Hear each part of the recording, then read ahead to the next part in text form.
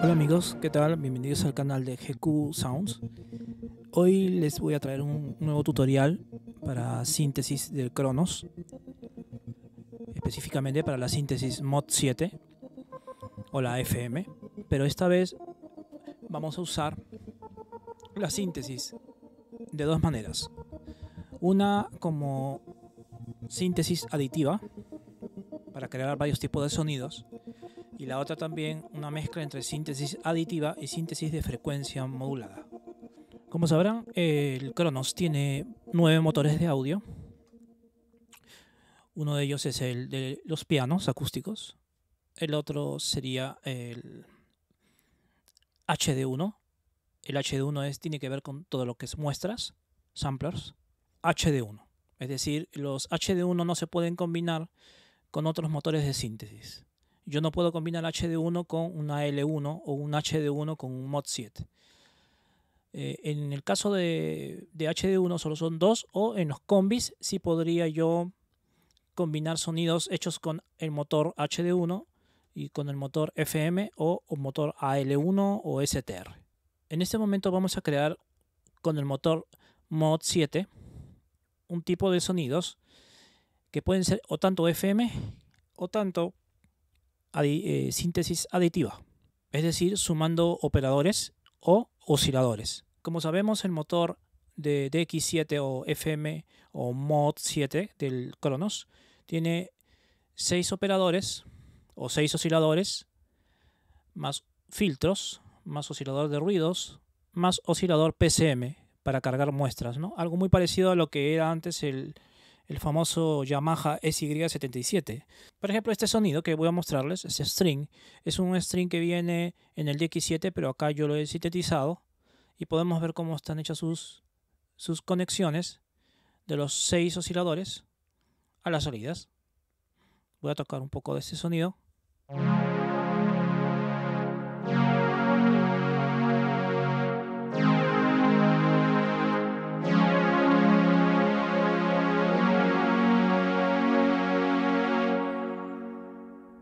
Como se darán cuenta por los gráficos, bueno, en este caso sí hay FM porque un oscilador, el primero, está retroalimentando a la entrada del segundo oscilador, el segundo a la entrada del tercero, a la entrada del cuarto, a la entrada del... ¿no? Y el quinto y el sexto van por separado. Acá está. La suma de todos estos van acá, al primer, a la mezcla 1, y la suma de los últimos dos operadores va al segundo mezclador de volumen. En este caso voy a inicializar, para inicializar un, programa en Mod 7, por ejemplo, inicializamos, nos vamos a Play y inicializamos en la pestaña de arriba Main, Programa. Con esto vamos a poner todos los parámetros en niveles de fábrica o nivel 0. Esto no lo presionamos porque acá estaríamos inicializando todos los programas del banco. Entonces esto lo dejamos así nomás. En este momento, el primer motor que nos aparecerá es el AL1. El AL1. Y acá en la segunda pestaña, perdón, en la primera pestaña, segunda pestaña Common y en la primera pestaña de Basics, podemos ver los dos tipos de eh, instrumentos virtuales que podemos juntar. Podemos juntar a L1 todos estos de acá los podemos juntar igual con todos estos acá. Es decir, tenemos dos motores duales por cada sonido que creemos con estos sintetizadores o motores de audio. En este caso voy a seleccionar en uno solo el Mod 7 con Wave Shaping, ¿no?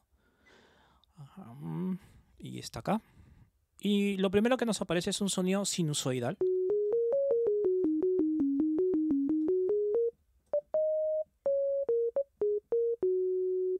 Una onda pura, porque solamente hay un oscilador conectado. Para ver las conexiones de los osciladores, nos vamos a X1, este de acá, XI1, o sea, Expansion Instrument número 1. Acá vemos que efectivamente solo un oscilador está yendo a una salida de la mezcladora. Recordemos que esta mezcladora tocando encima de esto, podemos subir el volumen de 0 a 100 y de esta onda. Este es el primer oscilador. Supongamos que queremos cambiar el tipo de oscilador, porque vamos a hacer síntesis aditiva. En vez de síntesis FM, nos vamos a osciladores y acá nos aparecen los osciladores. Por ejemplo, el PCM oscilador, la modulación del PCM oscilador y acá vienen todos los osciladores BPM. Estamos en el primero, seleccionamos el oscilador 1 y acá en main principal tenemos muchas formas de generar la forma de onda. Por ejemplo, tenemos cine, sinusoidal.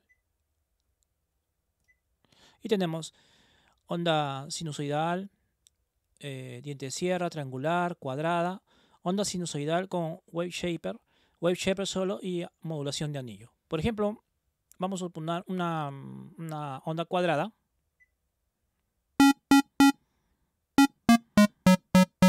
O podemos poner una onda tipo sierra o, sí, diente de sierra, sau.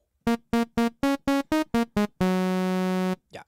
Vamos a usar esa onda como partida, como punto de partida para crear este sonido. Entonces acá tenemos parámetros en el oscilador. Volumen de entrada, filtro pasa bajos, es decir, esto deja pasar solamente los bajos hasta, una, hasta un punto, ¿no? Una frecuencia. Por ejemplo, si lo opaco, lo apago, lo bajo.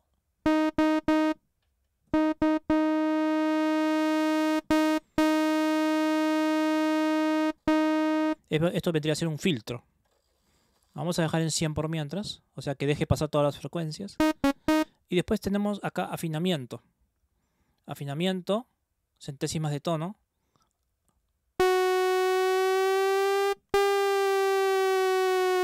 como verán, ¿no? Cero es el tono principal, 440. Y radio serían los armónicos o las alturas armónicas, ¿no? Si yo pongo uno es el original, el segundo es octava.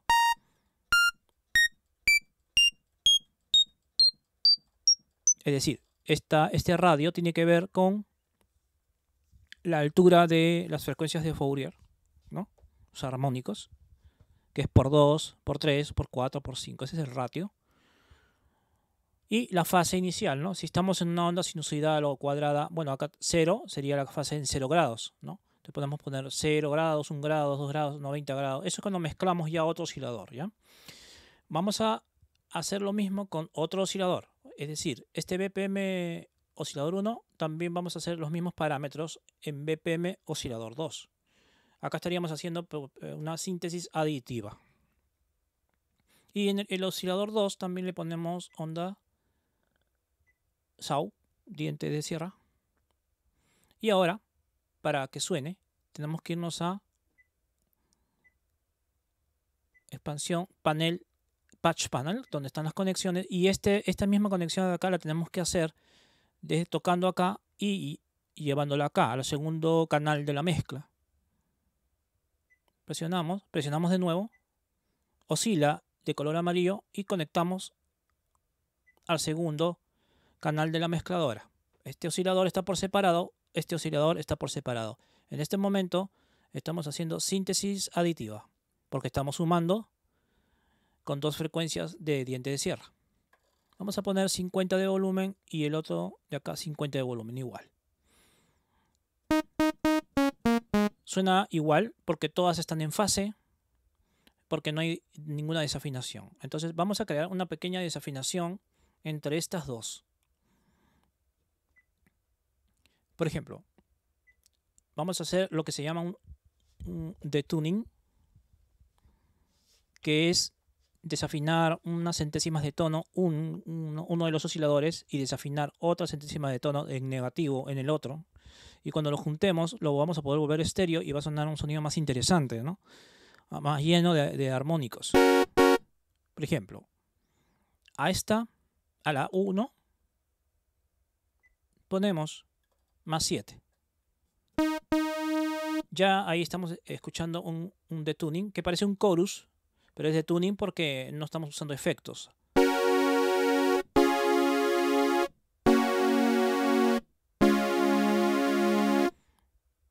voy a poner en realidad más 6, más 0.006 de centésima de tono en la frecuencia. Y ahora,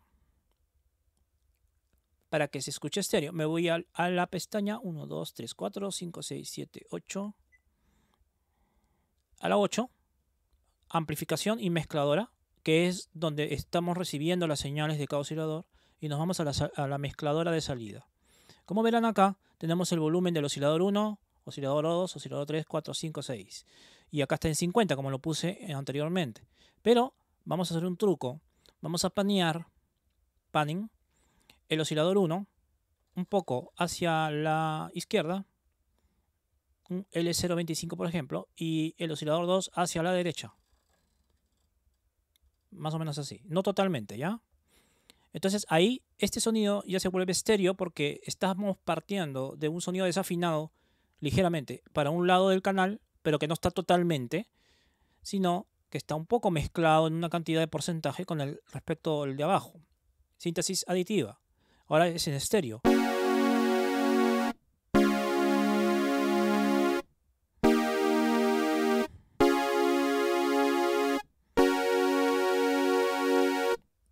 En este momento ya tenemos un sonido en el que podemos partir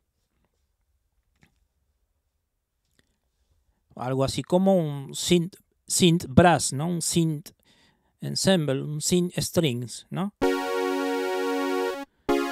Ahora, ¿cómo cambiamos el comportamiento de eh, los volúmenes, ¿no? De cada oscilador, ya que estamos haciendo con el mod 7 síntesis aditiva, que también podría ser subtractiva, en este caso es aditiva. Bueno, acá eh, cuando nos vamos a osciladores y nos vamos al primer oscilador, al segundo, al tercero, al cuarto, tenemos acá una parte que es output y podemos prenderlo o apagarlo. Esto es para que suene o no suene el oscilador. Ya que ninguno está retroalimentado, todos funcionan en forma independiente. Por ejemplo, acá vemos que el oscilador BPM1 está usando el eje seleccionado. Eje es en torno, bueno, entorno gráfico o se podría decir la envolvente, que es una parte gráfica que vamos a ver del comportamiento de volumen, por ejemplo. En este caso está el eje 1 para el oscilador 1 y en el 2 estaría el eje 2. Este volumen 100%, bueno, está en lo máximo, quiere decir que le va a hacer caso al eje 2, en este caso el operador 2, y en este caso le va a hacer caso al eje 1, al comportamiento. Todavía no tiene respuesta de toque porque la velocidad está en cero, ¿ok? Entonces ahora vamos a cambiar el comportamiento del volumen del sonido con los eje. Para eso nos vamos al eje y sabemos que el eje 1 pertenece al oscilador 1 y el eje 2, eje 2, pertenece al oscilador 2. Vamos a eje y acá podemos ver el comportamiento del volumen. ¿Qué quiere decir esto? Si yo todo lo pongo en cero, que es lo que tenemos que hacer,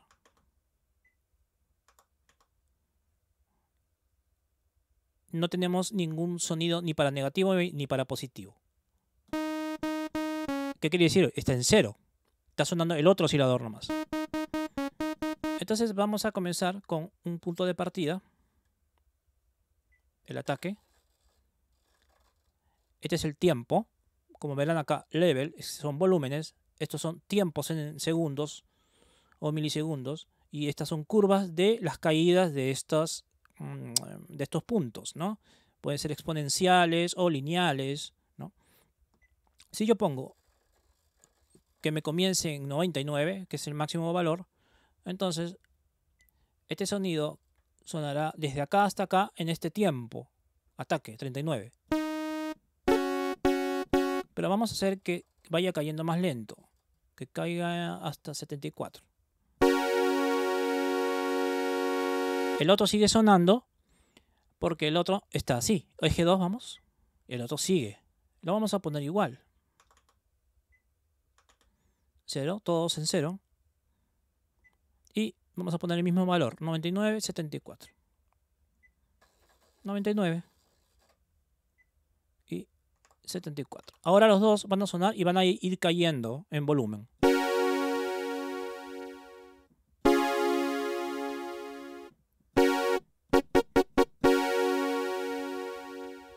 Es decir, yo cuando dejo pulsada la nota, voy a alejar la, la cámara. Cuando dejo pulsada la nota, pero si suelto rápido, queda seco, ¿no? Si dejo pulsada, el decay, ese decay es esa curva que hemos creado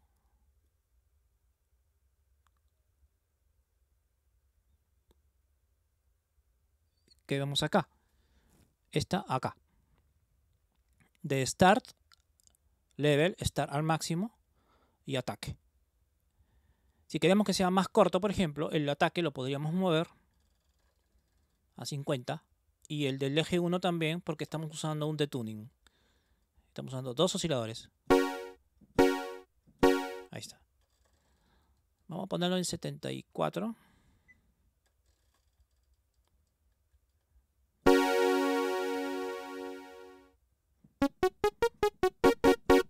Ya, ahora, yo quiero tener respuesta de toque. Para la respuesta de toque, nos vamos de nuevo a osciladores. Nos vamos a BPM0, perdón, BPM oscilador 1. Y acá, en outputs, ponemos la sensibilidad.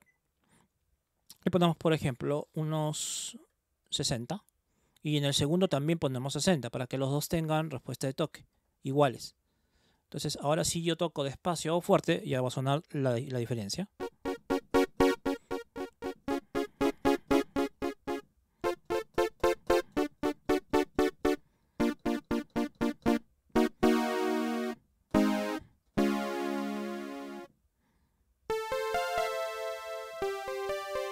Podemos poner más, 70 y 70.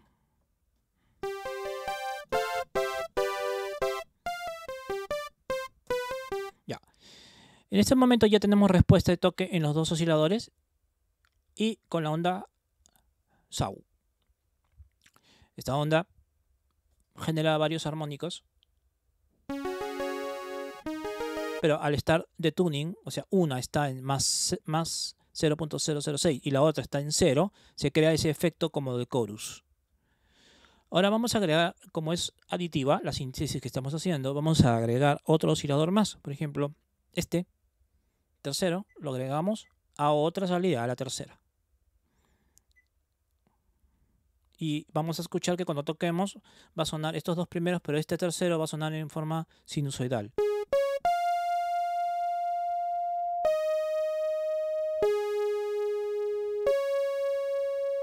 Entonces vamos a hacer algo interesante. Vamos a poner un sonido como especie de campanita o algo así. Y vamos a, a subirle el radio a, a 2, que sería una octava.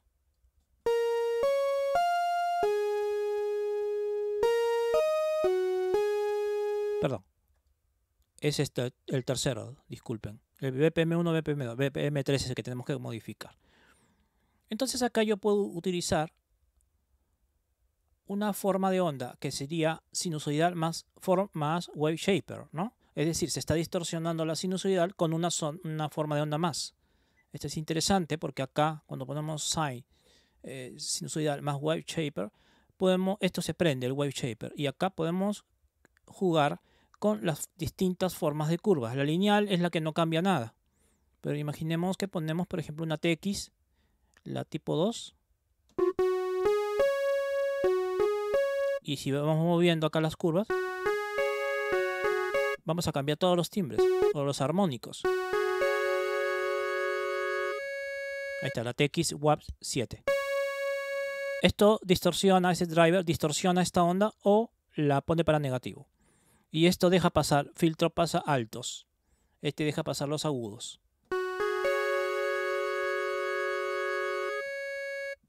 Le vamos a subir al radio una a dos para que sea una octava para arriba.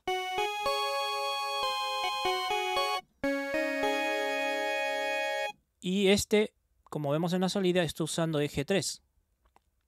Es decir, otro generador de envolvente o generador gráfico. Entonces nos vamos a eje 3, cambiamos todos los valores a cero.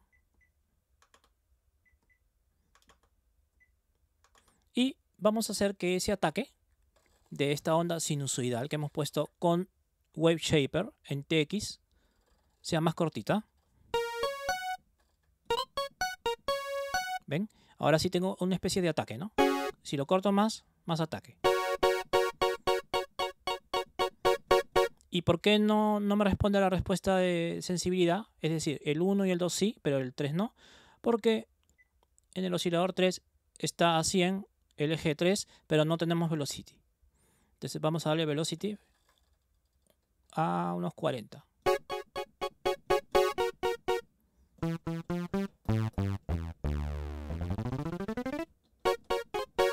Y lo que queremos hacer también es que ese, este sonido quede sostenido. Una vez que soltemos las teclas, quede como un sustain. ¿no?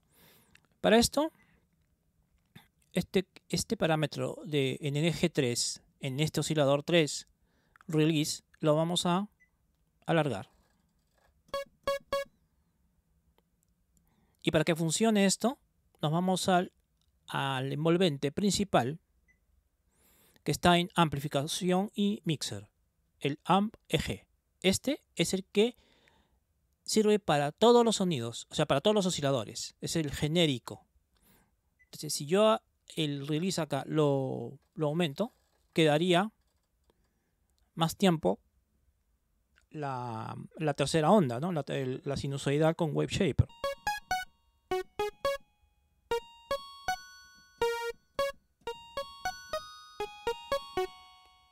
Voy a, alejar un poco para que vean.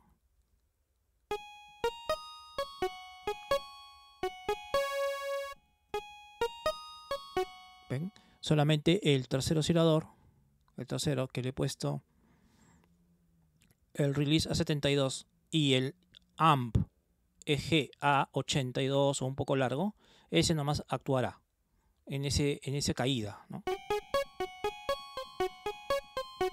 Entonces, para que suene interesante, también vamos a hacer algo. Vamos a hacer lo mismo con esto. Lo que vamos a hacer ahora es que ese sonido que hemos creado le vamos a subir un poco más la, octava. De radio 2 lo vamos a pasar a radio 4 para que sea más agudo.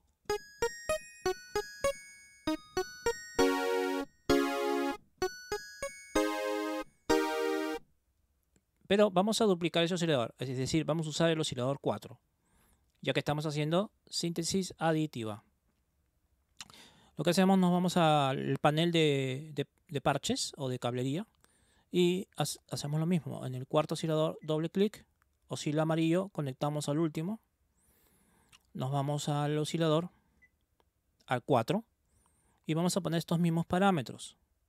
En el 4 también ponemos igual, ponemos eh, la onda sinusoidal con Wave Shaper, ponemos el radio a 4 ponemos el Wave Shaper al mismo que estaba anterior, que era creo que TX2, o a ver, vamos a ver cuál era. TX Wave 7. Entonces, este, esta forma de onda la vamos a poner. Pero vamos a hacer también el mismo de tuning. Es decir, en este cuarto, los mismos parámetros. Y el eje, para no estar escribiendo de nuevo el mismo eje del oscilador 3, como el eje 3 ya tiene el, comportamiento de volumen, en el BPM oscilador 4 podemos poner acá eje 3. ¿Ya? Pero para que se escuche una, campana tipo BS Bell, ¿no? Desafinamos un poquito esta a más 7.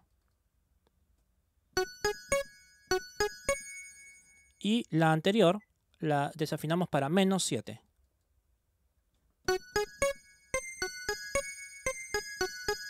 Y ahora, para volverlo estéreo, ya tenemos el de tuning en el oscilador 3 y 4, que es la onda de, que está a 4 de radio, o sea, a 2 octavas aproximadamente. Nos vamos amplificación, output mixer y también paneamos un poco el 3 y el 4. Acá ya estamos haciendo una síntesis aditiva de cuatro osciladores, como verán.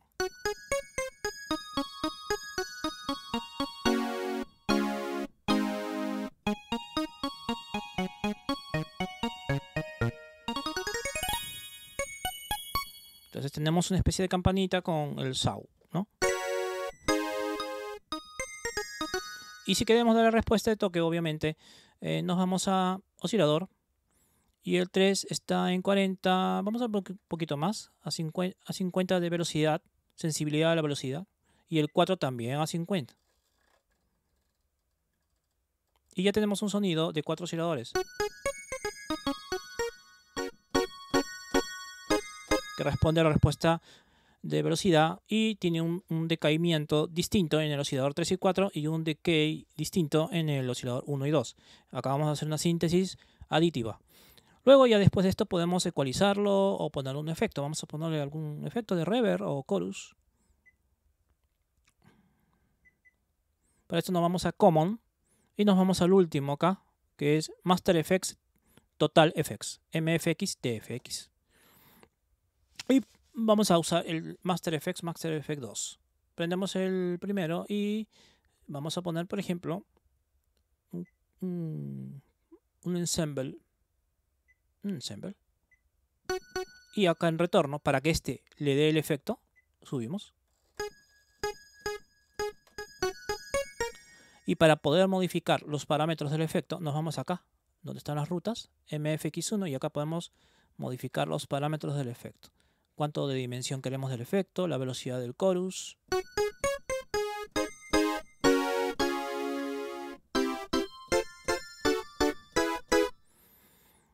Eh, de acá nos vamos de nuevo a routing y en el segundo ponemos reverb si queremos o un delay. Un delay. Vamos a poner un delay um, cruzado o puede ser LSR también o reverse delay hay varios tipos de delay como verán acá. O este que es LSR BPM Delay. Es decir, es un delay que se acomoda al tiempo del secuenciador, al tiempo MIDI. ¿ya? Ponemos el primero. Y le damos un porcentaje de retorno al efecto 2.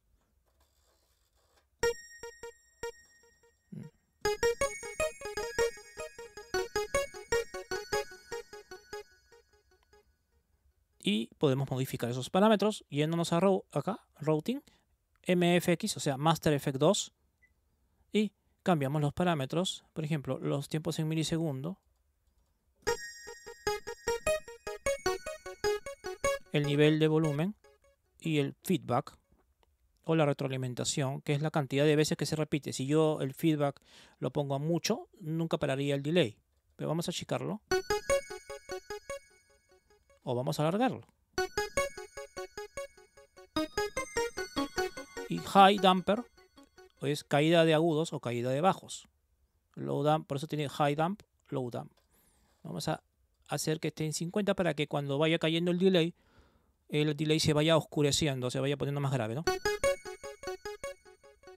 Un poco más. Y el spray o o, bueno, ancho estéreo. esto es para que sea más estereofónico o más mono. El máximo es estéreo, ¿no? Si ponemos en 25 estaría un poco, un poco el LSR un poco al centro. Vamos a hablar de 50.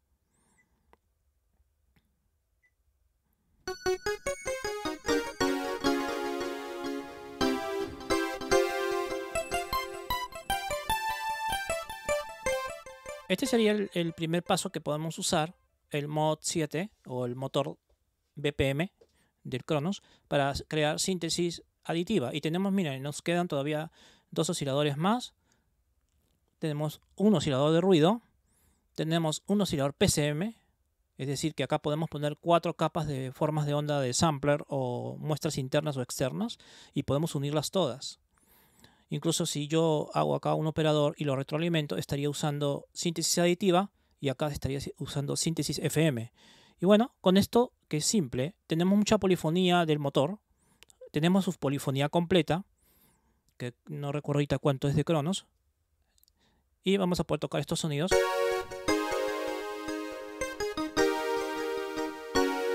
Bueno, este es un tipo de sonido, podemos crear todo lo que queramos, ¿no? Y para escribirlo, guardarlo, como está inicializado, nos vamos a main, play primero, play, main, main y escribir el programa.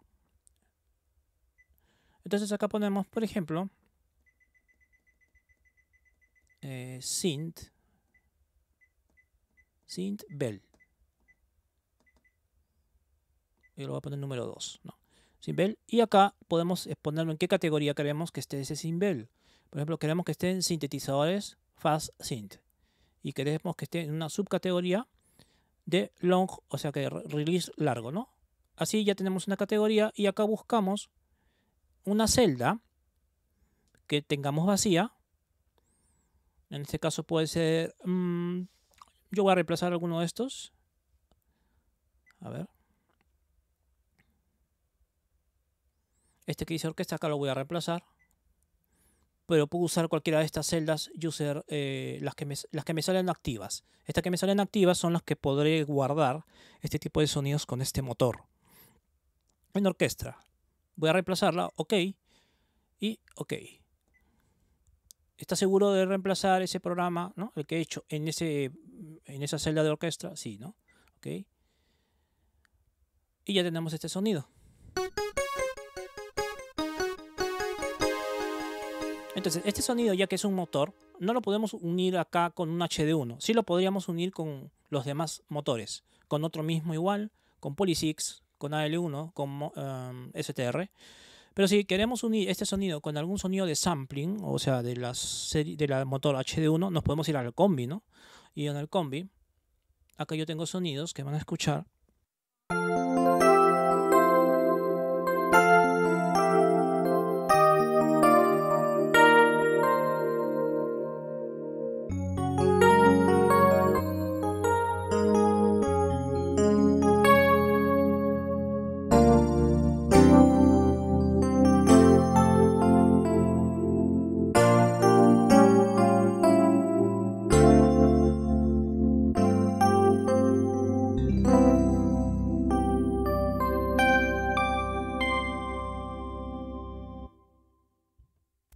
Esa es una mezcla de motor FM o síntesis aditiva también con motor HD1 en combi. Obviamente esto lo podemos usar también en el secuenciador. Nos vamos al secuenciador, usamos estos dos sonidos en el mismo canal y después podemos seguir usando los demás sonidos en diferentes canales MIDI para hacer nuestra secuencia. Bueno amigos, espero que les haya gustado este primer tutorial. Voy a seguir con los tutoriales. Denle like, por favor. Les agradezco mucho eso. Suscríbanse al canal, es muy importante para que vayan recibiendo las, las novedades, los nuevos tutoriales y también para que vean los nuevos sonidos que ya voy a sacar para Cronos. Y para los otros modelos, el PA700, PA1000 y también para el modelo Montage Mod X. Muchas gracias por ver este canal y por favor no se olviden de suscribirse. Saludos.